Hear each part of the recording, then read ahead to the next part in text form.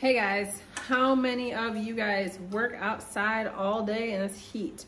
So where we're from, it is hot right now. Um, we own a farm, we work outside all day. So having cold water all day is a must for us.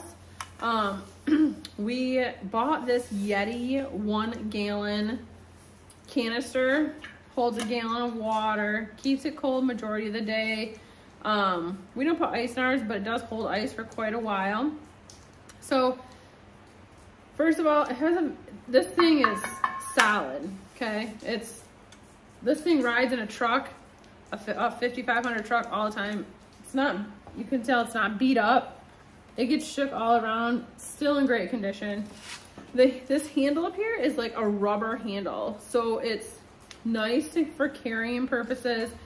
I love how sturdy this handle is too. So I don't feel like it's ever gonna break. Like when this is full, I never feel like this is gonna get chintzy or break off. Um, so you have the top here where you drink from.